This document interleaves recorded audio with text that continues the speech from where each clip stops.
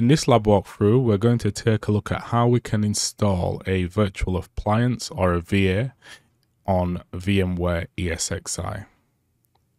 So with access to Cisco Umbrella, we have two ways we can get to where we need to be. So the first one is by logging in and reaching the overview page where you'll see active virtual appliances here. Now you can click on that and it'll take you to sites and active directory or you can actually go to deployments and then you can go down to sites and active directory. You can see here I have some virtual appliances already configured in my lab. We're going to ignore those and we're going to actually add another one today. So what we need to do is we need to navigate to the top right corner where it says download and then we'll just click download. And we get a little dialog pop up here which gives us a few options. Now we want to focus on the virtual appliance for this particular lab lab walkthrough. So we have two options. We have the VA for the VMware ESXi or we have it for Hyper-V. We're going to install this on ESXi today so we'll download that.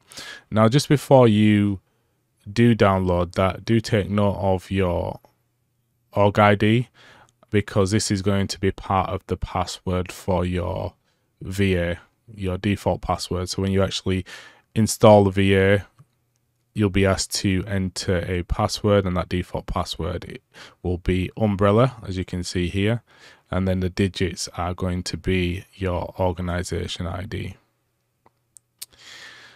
So we'll download that now and you can see once that file is being compiled it's going to then start downloading for us. Now once that file has been downloaded, you will need to extract it as you can see here. This is the file once downloaded, it's a .tar file. So with it, we extract that and then once we've extracted that, we can see we have some information within that folder. So you've got a readme file, which is basically going to tell you how you can actually use these two um, bits of information to verify the download and verify that it is a legitimate download. I'm going to skip past that because I know I've just downloaded it from my Umbrella dashboard. But if you wanted to verify that, you could use the README instructions and uh, run through that verification process. So once that's done, we need the OpenDNS virtual machine that's been downloaded here. And this is what we're going to use for our VMware ESXi. With access to our ESXi environment, we need to go to File, Deploy OVF Template, and then we need to deploy from a file. So we'll just browse to that location.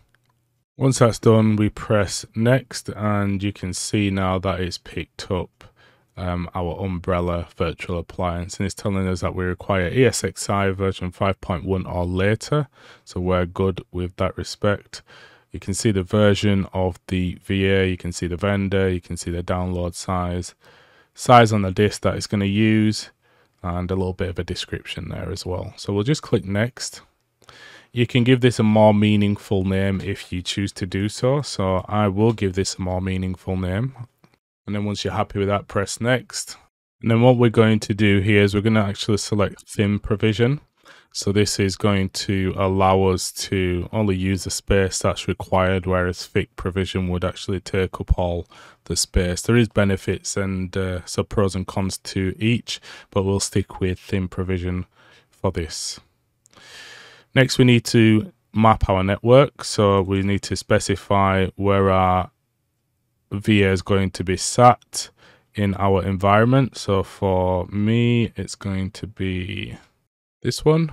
And then once we're done with that, we'll just say next.